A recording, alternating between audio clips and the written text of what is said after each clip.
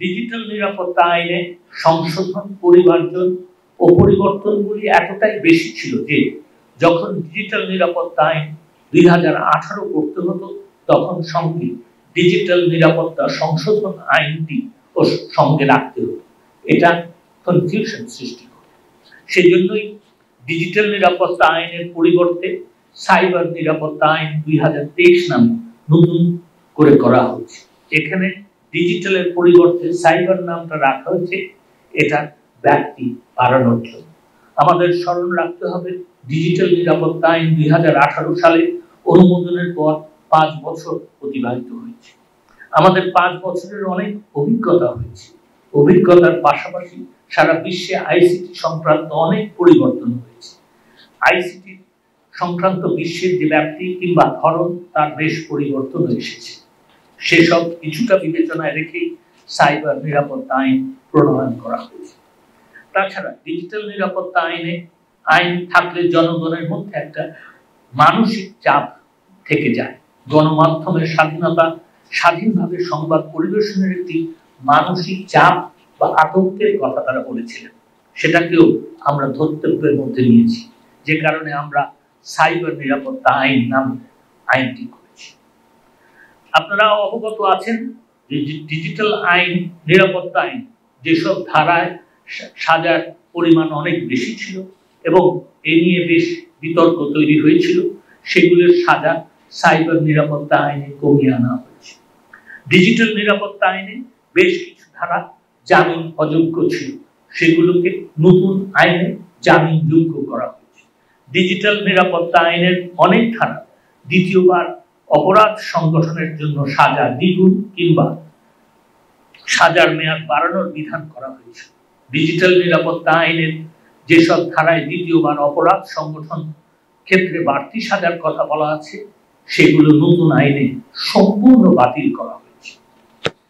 আপনারা যদি দেখেন ডিজিটাল আইন, ডিজিটাল সিকিউরিটি অ্যাক্টে উনত্রিশ ধারা, আমরা সেখানে অপরাধ করলে পরে বিচার কার্যে এই সাক্ষ্য সাক্ষ্য প্রমাণে যদি এই অপরাধ প্রমাণিত হতো, তাহলে এখানে একটা জেলের বিধান ছিল। এবং জেলের সাথে আপনার অর্থদণ্ড বা উভয়ের একটা বিধান ছিল। আমরা এখন যেটা করেছি যে সেই উনত্রিশ ধারায় আমরা এখন কোনো জেলের বিধান রাখি নাই, কারাদণ্ডের বিধান সেটার মধ্যে নাই।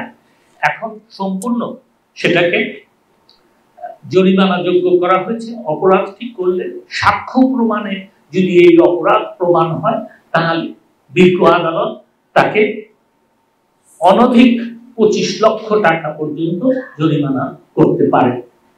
এটা এক পয়সার থেকে পঁচিশ লক্ষ টাকা। যেটার মধ্যে যখনই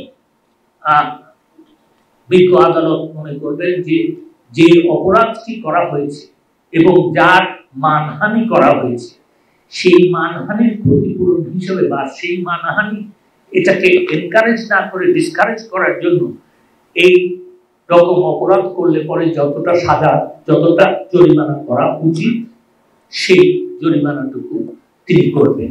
এই অনধিক পঁচিশ লক্ষ টাকা মানেই যে তিনি পঁচিশ লক্ষ পর্যন্ত সবসময় জরিমানা করবেন, সেটা কিন্তু নয়। তারপরে আপনার এখানে যেটা হয়েছে সেটা হচ্ছে যে আমরা মোরলেস কিন্তু প্রায় সবগুলি সাইবার সিকিউরিটি অ্যাক্ট আর ডিজিটাল সিকিউরিটি অ্যাক্টের যে মূল উদ্দেশ্য সেটা হচ্ছে যেটা মাননীয় প্রতিমন্ত্রী মহোদয় অত্যন্ত সচ্ছল ভাষায় বলেছেন, আমার থেকেও ভালো ভাষায় বলতে পেরেছেন তিনি। সেটা হচ্ছে যে এটার উদ্দেশ্য হচ্ছে সাইবার ক্রাইম কমব্যাট করা। এটা কখনোই কিন্তু উদ্দেশ্য ডিজিটাল সিকিউরিটি অ্যাক্টেরও যেরকম উদ্দেশ্য ছিল না, যে আপনার বাক স্বাধীনতা বা সংবাদ মাধ্যমের স্বাধীনতা খর্ব করা বন্ধ করা বা চাপ সৃষ্টি করা, এই আইনেও কিন্তু আমরা সেইটা অত্যন্ত ইয়েভাবে, সুচিন্তিতভাবে সেটা যাতে কোনো মতেই আমাদের সংবিধানে যে জিনিসটা গ্যারান্টি দেওয়া আছে, সেটা যেন কোনোভাবেই কেউই এইভাবে না নিতে পারে যে এটাকে বাক স্বাধীনতা বা সংবাদ মাধ্যমের স্বাধীনতা খরচ করার জন্য একটা আইন করা হচ্ছে, সেইটা আমরা দেখেছি এবং সেটা যাতে না হয় সেই ব্যবস্থা নিয়েছি। এখন কথা হচ্ছে যে এই সাইবার নিরাপত্তা আইন বা ডিজিটাল নিরাপত্তা আইন এখন সাইবার নিরাপত্তা আইনে যেটা করা হয়েছে আরও শক্ত হবে, সেটা হচ্ছে যে সাইবার ক্রাইম যেমন ধরেন আপনার এইখানে এই আইনের মধ্যেই আছে আমি বলতে পারি যে সতেরো বা উনিশ ধারা যদি বলেন তাহলে আপনার দেখা যাবে যে এই সতেরো উনিশ ধারাগুলিকেই আমরা কিন্তু বিশেষভাবে আপনার গুরুত্ব দিয়ে, কারণ it is very related to cyber offences সেই জন্য এই উনিশ এবং উনিশ, সতেরো উনিশ, তারপরে আপনার আরও আছে, আমি তেত্রিশ, এইগুলিকে আমরা গুরুত্ব দিয়েছি এবং এইগুলিকেই আমরা সাজার আওতায় অত্যন্ত স্ট্রিক্টলি দেখেছি। আর যেগুলি ধরেন অন্যান্য অপরাধ, এখানে কিছু কিছু অপরাধ আছে। ধরেন উনত্রিশ ডিফেমেশন আপনারা এই আইনের মধ্যেও পাবেন যে ডিফেমেশনের যে সংজ্ঞা, সেটা পেনাল কোড থেকে নেওয়া হয়েছে। এবং এখন এই পেনাল কোডের যে সাজা, সেই সাজাও কিন্তু আপনার এখন রাখা হয় না। আপনারা ধর্মীয় অনুভূতির কথা যেরকম বলছেন, সেটা আপনার পেনাল কোডের দুইশো পঁচানব্বই ধারায় আছে এবং সেইখানে যে সাজা আছে, সেটার সাথে সামঞ্জস্য রাখা হয়েছে। পেনাল কোডের যে সাজাগুলি পেনাল কোডের যে অপরাধগুলি, সেই অপরাধগুলি হচ্ছে যদি আপনি ফিজিক্যালি করেন, আর এইখানে হচ্ছে সেই অপরাধটা ডিজিটালি যদি করা হয়, এবং এটা আপনারা দেখছেন যে এরকম অপরাধ হচ্ছে। সেই ক্ষেত্রে আমরা ডিজিটাল সিকিউরিটি অ্যাক্টে ডিজিটাল ব্যক্তিটা বেশি বলেই সাজার পরিমাণটা বেশি রাখা হয়েছিল। আমরা এখন সেটাকে কমিয়ে দিয়েছি, কয়েক জায়গায় একেবারে সেটাকে বন্ধ করে দিয়েছি।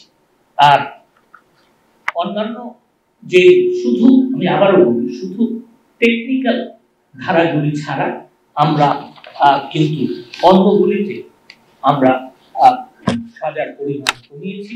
দ্বিতীয়বার অফেন্সের যেটা আমি বলেছি, সেটাও আমরা কমিয়েছি এবং দ্বিতীয়বার অফেন্সটা বাতিলই করে আর একটা কথা, যখন ডিজিটাল সিকিউরিটি অ্যাক্ট নিয়ে কথা হতো, তখন একটা কথা প্রায় বলা হতো, সেটা হচ্ছে যে এই ডিজিটাল সিকিউরিটি অ্যাক্টের অনেক ধারাই অজামিনযোগ্য। আমরা এখন এই ডিজিটাল এই সাইবার সিকিউরিটি অ্যাক্টে প্রায় সব ধারায় জামিনযোগ্য করে দিয়েছি। এবং যেগুলি অজামিনযোগ্য, সেইগুলি হচ্ছে আপনার বাহান্ন ধারায় আছে। আমরা সতেরো, উনিশ, একুশ, সাতাইশ, তিরিশ ও তেত্রিশ। এবং আপনাদের মতামত নেওয়ার জন্য যেটা বলেছেন, এখন ওয়েবসাইটে আপলোড করা হয়েছে, আপনারা মতামত দিবেন, আমরা আপনাদের সুচিন্তিত মতামত অবশ্যই আমরা সেটা বিবেচনা করব। এবং বেশিরভাগ যে ইয়েগুলি, সেগুলি জামিনযোগ্য করা হয়েছে। এবং আমি এমন কথাও বলতে পারি না যে এইখানে যেগুলি জামিনযোগ্য করা হয়েছে, এইটাই শুধু জামিনযোগ্য থাকবে, এটা কিছু বাড়বে না। আমি এটুকু বলতে পারি সেখানে যে যেগুলি জামিনযোগ্য করা হয়েছে, এই এগুলি জামিনযোগ্য থাকবে। আর এটার সাথে যে অন্য কিছু ধারা যোগ হতে পারে, সেটারও সম্ভাবনা কিছু আর কিন্তু আছে। তো সেই ক্ষেত্রে আর আপনার দেখা গেছে যে সতেরো, উনিশ, তেত্রিশ, এইগুলি হচ্ছে more or less more or less absolutely related to cyber crime তো আমাদের উদ্দেশ্য যেটা, সেটা হচ্ছে সাইবার ক্রাইম বন্ধ করা। এবং আমার মনে হয় যে এটা, এই আইনটা এটার যে অপব্যবহার ছিল, সেই অপব্যবহার সাইবার সিকিউরিটি আইনের মাধ্যমে বন্ধ হবে। অনেকেই বলছেন হয়তো যে আপনার, এবং আজকে যে কপিটা আপনারা পেয়েছেন, সেই কপিটাই কিন্তু অথেন্টিক কপি এর আগে কিন্তু কোনো কপি দেওয়া হয় না আর গতকাল পর্যন্ত, গতকালকে এটা ওয়েবসাইটে আপলোড করা হয়েছে।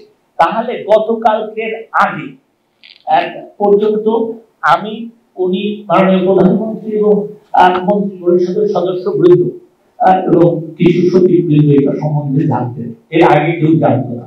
আজ গতকাল পর্যন্ত যারা এটা সম্বন্ধে কমেন্ট করেছে, তারা অবশ্যই এটা সম্পূর্ণতা জেনে কমেন্ট করেছেন এই কথা পাওয়া যাবে তো আমি সেই জন্যই বলছি যে এটা যদি ডিজিটাল সিকিউরিটি অ্যাক্টের পাশাপাশি রাখা হয়, তাহলে অবশ্যই এটা পরিবর্তন করা হয়েছে এবং অনেকেই যেটা কিছু কিছু লোক যেটা বলেছেন, সেটা যারা এটা সমালোচনা করেছেন, তারা বলেছেন এটা হচ্ছে নতুন বোতলের পুরনো মত।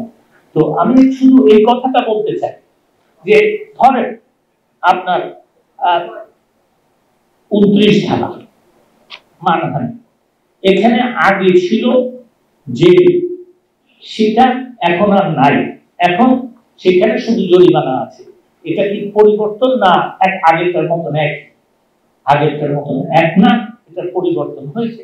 একুশ ধারা ধরেন জেল ছিল দশ বছর। এখন এটা হয়েছে সাত বছর। এটাও কি পরিবর্তন? না। এটাও আগের মতন আছে। এখন এইভাবে এবং আইনটার সর্ব জায়গায় দ্বিতীয়বার অপরাধ করলে যে ধারা, যে উপধারাগুলি ছিল, সেটাকে সম্পূর্ণ বিলুপ্ত করা হয়েছে। সেটাও কি পরিবর্তন? না, সেটাও কি এক আছে? তাহলে এইগুলি বিচার করার পরে কেউ যদি বলে যে ডিজিটাল সিকিউরিটি অ্যাক্ট আর সাইবার সিকিউরিটি অ্যাক্ট নতুন বোতলে পুরনো মত তাহলে আমাদের বলতে হবে যে সমালোচনার জন্যই শুধু সমালোচনা করা হচ্ছে। এটা জেনে সমালোচনা করা হচ্ছে। তো বন্ধুরা আমরা আমাদের উদ্দেশ্য প্রথম সাইবার ক্রাইম বন্ধ করা। আপনারা মাননীয় প্রতিমন্ত্রীর কাছে শুনেছেন, একাশি একাশি মিলিয়ন ডলার বাংলাদেশ ব্যাংক থেকে ব্যাংক হাইস্টের মাধ্যমে চুরি করে নিয়ে যাওয়া হয়েছে।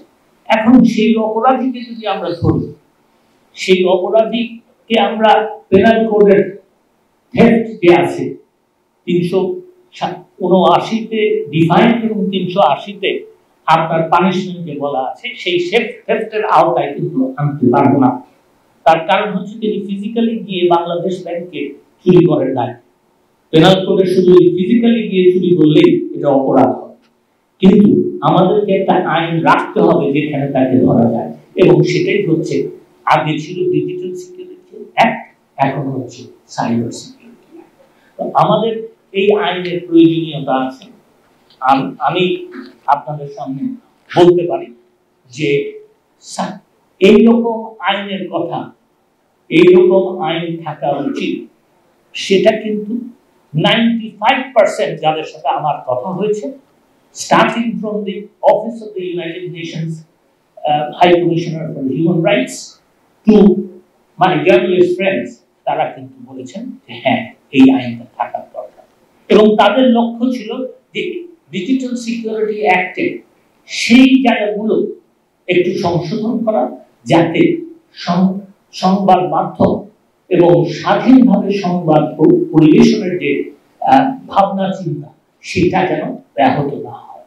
আমরা আমরা অত্যন্ত দৃঢ়ভাবে বিশ্বাস করি যে সাইবার সিকিউরিটি অ্যাক্টের মাধ্যমে আমরা সেই জায়গাটা, সেই প্রশ্নটা, সেই উত্তর দিতে পেরেছি, সেই প্রশ্নটা আমরা নিরসন করতে পেরেছি এবং সেই ভয়টা আমরা দূর করতে পেরেছি।